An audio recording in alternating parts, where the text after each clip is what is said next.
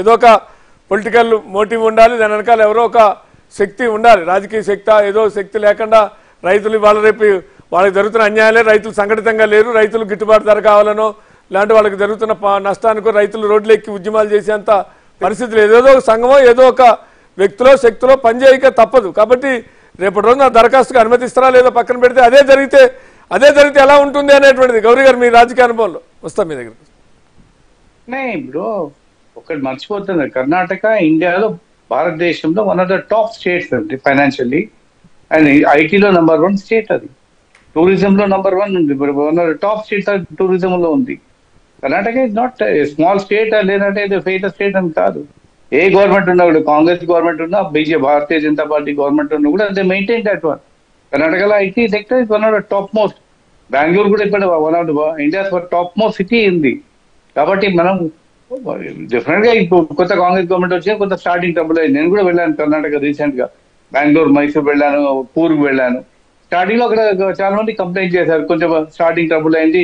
కొత్త గవర్నమెంట్ కొత్త scheme free travel for women బస్సులో పెట్టారు కదా. అందరు జనాలు జనాలు బస్సు ఎక్కి తిరిగేవాళ్ళు.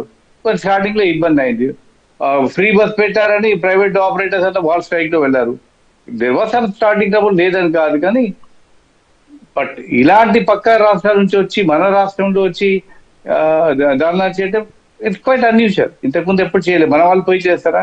And second thing BRS party JDS తోటి టైఅప్ ఉంది. జేడీఎస్ ఎలక్షన్ నిలబడితే మన వాళ్ళు ఫైనాన్షియల్ సపోర్ట్ చేశారు బీఆర్ఎస్ పార్టీ కాబట్టి this is a different kind of politics అవుతుంది. ఏంటంటే అంటే కాంగ్రెస్ కాంగ్రెస్ పార్టీని బద్నాం చేయాలి.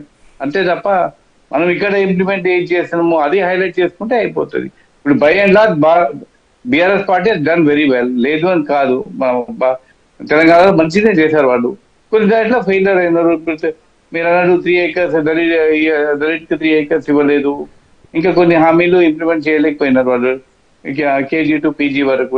కమెంట్ విత్ డిఫరెంట్ థింగ్ అది అది తప్ప డిఫరెంట్ ఆ ఇష్యూస్ మీద ఫైట్ చేయవచ్చు కానీ అంతనే కానీ పక్క రాష్ట్రాల నుంచి తెచ్చేసి ఇక్కడ ధర్నా చేపియటం అంటే మాత్రం ఈ సమాజం కాదు. This not a good trend అనిపిస్తుంది నాకు.